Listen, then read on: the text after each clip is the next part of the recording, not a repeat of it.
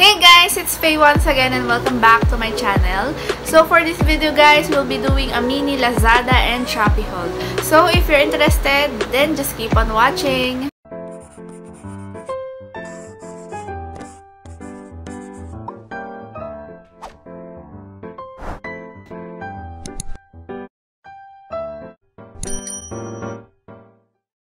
So guys, itong mga purchases ko na to is from the 99 sale ng Lazada and Shopee. So alam ko medyo late na to, pero hinintay ko muna kasi lahat dumating yung mga parcel before ko binlog. Guys, before we start, pasensya na kayo kung medyo maingay kasi super lakas ng ulan sa labas. So guys, every month talaga ang priority namin mabili is yung um, diapers and wipes ng baby namin. So, itong mga to is talagang, alam niyo yun, sumingit lang kami sa talagang bibili.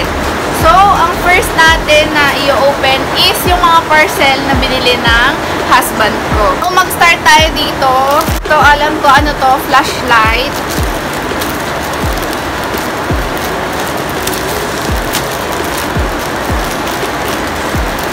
So, this one is 232 pesos. Guys, naka-bubble wrap siya. Open natin. Mahilig siya sa mga ganito. Survival, ganyan. Uh, rechargeable flashlight. Meron pang case. Ang cute. So, ganito siya kaliit, guys. Ganda. Bigat siya. And meron siyang um, USB na cable. Paano ba to? Tapos ganito pala siya i-open.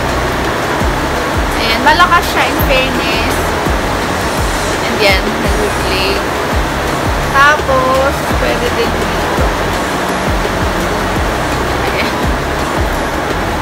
So, ayan, flashlight. Yung next natin guys is actually nagamit niya na. Ayan. Yung laptop na sleeve. So, yan. I don't know kung magkano to, pero alam ko super mura lang nito. Nasa 65 pesos lang yata. Ayan. Maganda siya kasi, ano siya, para siyang may foam. Pero hindi lang kasi siya ganun ka-fit. So, yung laptop namin is uh, MacBook Air. Ayan. Kasi sobra siya. Ayan. Hindi na siya nakahintay, kaya binukas niya. And namili din kami nung um, silicone pad para dun sa keyboard ng MacBook namin. So, yan. Ito fit naman siya. And maganda din guys.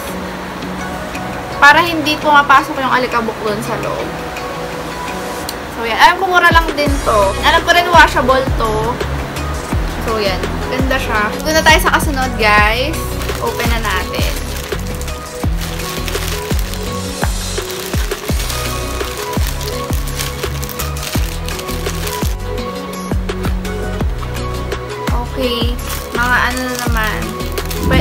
Pwede itong ano. Ito yung pinakita niya sa akin.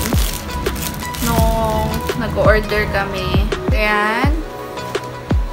Alam ko pwede itong gawing keychain. Pero, pwede din siyang knife. Ayan. Sabi sa inyo, mahilig siya sa mga ganyan. Ayan. May mga tools din sa gilid. Next one is, purchase ko na to. Ayan, nakapangalan na sa akin. This is from Ever Bilena. So, ito siguro yung ano. Oh my God, sobrang ano. Ang talim. So, ayan.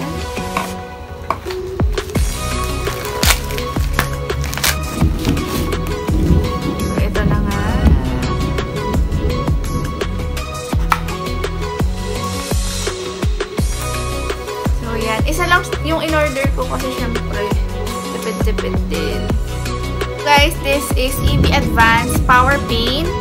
Yung kanilang multi-use na, ano, na cream. So, sige nga, try natin. Ang pinili kong shade, guys, is chiffon. Sunod kong video, guys, ano, mag-tutorial ako ng monochromatic look using this one. So, try muna natin. Excited na kasi ako eh. Watch natin dito.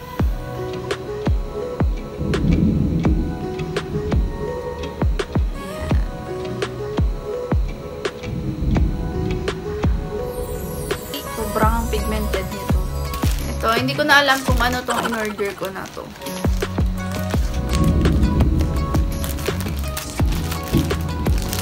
Ah, okay. Bralet. Order ako ng bralet. Ayan siya, guys.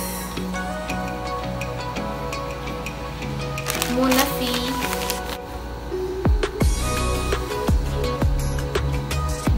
stretchy. Oh, down to the last one. Actually, guys, na-open ko na siya. Kasi this one is from Trendy Hot Chick Boutique. So, ito, tong suot ko ngayon na crop top is galing dito. Hindi ko na nahintay. Binukas ko na. So, yun, super mura lang, guys. Maganda yung tela niya, in fairness. At saka, iniisip ko kasi, guys, na baka ako... Di ba alam niyo yun, sa pag-online kasi minsan iba yung itsura pag dumating o kaya naman sobrang liit, sobrang sikip. Actually, ito hindi. As in, tas stretch pa halos lahat ng mga tela. And, super comfy. At 50 pesos lang yata each. Or, basta ganun. Ilalagay ko sa baba yung price. Basta, ang total ng tatlo na nabili ko is 207 pesos. Kasama na yung shipping fee. Ang pinaka nagustuhan ko is itong lettuce top nila. Ayan, super cute. No? Tapos, super ano pa niya, stretch. Kaya siguro hanggang ano to, hanggang XL kaya. Lalo sa mga mahilig dun sa mga fitted talaga. Dati pa man guys, hindi ako particular sa mga brands na sinusuot ko kahit sa makeup, sa damit, sa pants, or anything. As long as syempre sa makeups dapat, alam mo yun, safe. Tapos sa damit naman, as long as comfortable ako and confident ako isuot siya, walang problema sa akin kahit na mura siya or what. Syempre yung quality din tinitignan ko. Actually, hindi nga ako magkakaroon talaga ng mga branded na makeups or damit kung wala pang mga nagpapadala sa akin. So, thank you very much sa mga relatives and friends ko na nagpapadala sa akin from abroad. Pero kung ako, hindi talaga ako bibili kasi ala nang hihinayang ako lalo na pag mommy ka na. Hindi na um, mahalaga sa'yo kung branded o hindi. Mas, kumbaga, mas priority mo na talaga yung needs ng baby mo. That's all for my video, guys. Yun lang muna. Kasi yung iba is naka-add to cart pa lang.